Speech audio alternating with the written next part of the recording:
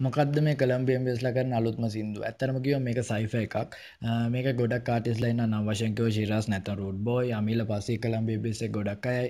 මුරුෂාඩ් ෆංකිඩ දෙකේ බ්ලවස්ට නේට් හැන්ක් එක සම යුලෝ කයිරෝ ස්කේටි නිකේ වගේම තවත් ගොඩක් කාටිස් ලයින්නම නම් කියපු නැතිය මගේ හැම කෙනෙක්ම ඩිස්ක්‍රපෂණ එක හරියටම දාන්න මේක ෝඩියක් ගැන කතාකර මේ කරලා තියෙන ABC රෙකොඩ් සලින් මේක ඕඩියක කරලා දැන්ට මාස පාකයක් විතර වෙනවලු.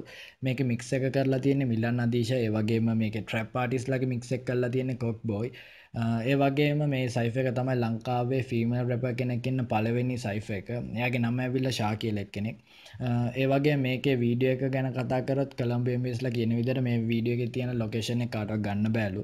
මේ ලොකේෂන් එක තියෙන වත්තල හැඳල පෙට්‍රෝලියම් එක. මේ ලොකේෂන් එක ගන්න බෑ කියන්න හේතු ඇවිල්ලා කළම්බියම් බේස්ල කියන විදිර මේකේ ලොකේෂන් එක අමිල්ල රජයෙන් අවසරරන්ලු කරලා තියෙන්නේ. මේ ලොකේෂන් එක කාටවත් ලේසියෙන් දෙන්න ඇලු කෝමුණත් මේ සයිෆ එක එන්න තියෙන ජූනි විසිතුන්න දෙදස් දාහටේ බල මේ සයිෆ එක කොහොම වේද කියලා. මම මේ ගොල්ලොන්ගේ ට්‍රයිල් එක ඉස්සරහන් දාන්න ඒවගේම ලංකාව තවත් හිප විස්තර ගැන දැනගන්න ඔන්න මේ චැනල් එක සබස්ක්‍රයිබ් කාන්න එලගිරි Walk Me TV.